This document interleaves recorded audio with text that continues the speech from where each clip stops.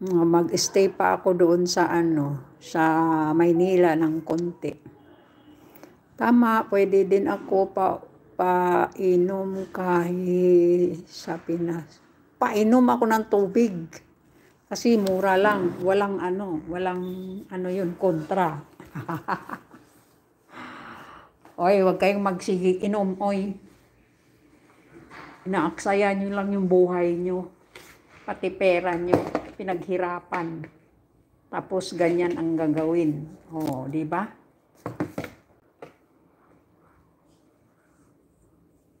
Yung iba nagkukumahog para magiging healthy, eh kayo naman naghahanap buhay para pang-inom. Ano yan?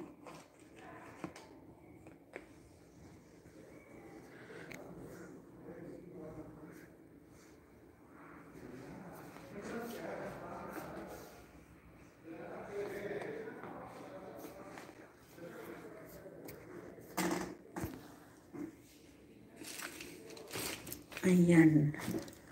Ayan, iinom na tayo. Inom na tayo, ano, Mr. ano, Mr. Multi, ano, Mr. D Multi-Skill TV. Mahirap ang hanap buhay ngayon masyadong mahal ang bilihin, kaya mag-ipon. Hmm. Anong gagawin mo sa Pinas kung wala kang makain, wala kang ipon? Oh. Tapos siyempre, wala kang trabaho. Oh, makapagtrabaho ka man na hindi ano, hindi sapat. Oh, kumusta naman yung mga uh, anong tawag nito? Mga pag-ibig ano, mga pag-ibig na hinuhulugan, is is is. Oh, nakahulog ba? At least mayroong kaunti. Eh kung nag-MP2 ka, maganda. Kung nag-is-is Swiss Plus ka, maganda. Mayroon kang 20,000 a month pag ano. Pag ikaw ay umabot ng 65. Oh. Meron naman na ako ipon. Ayun, maganda yun. Tilurin, mag-ipon talaga. Ang tilurin. Sana ibigay sa'yo yung ano mo no, yung Diba?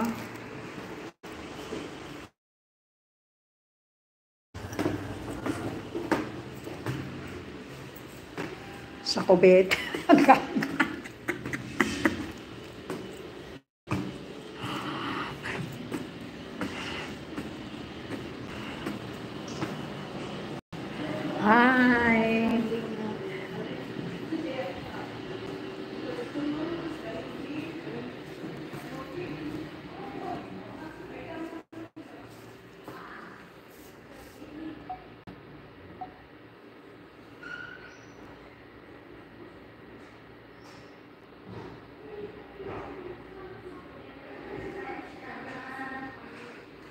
Giatay.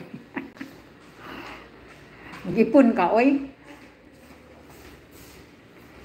Mag-ipon ka, Auntie Lauren, para... Ka na. Mag-ipon ka, Auntie Lauren. Para, ha? Umuwi ka pala. Hindi. Dito na muna. Ah? Gusto ko umuwi ako. Ah, malayo? Ah.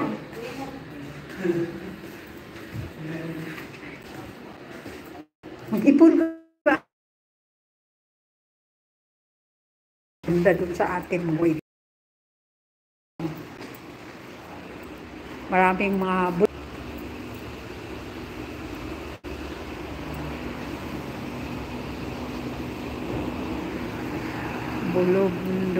กิน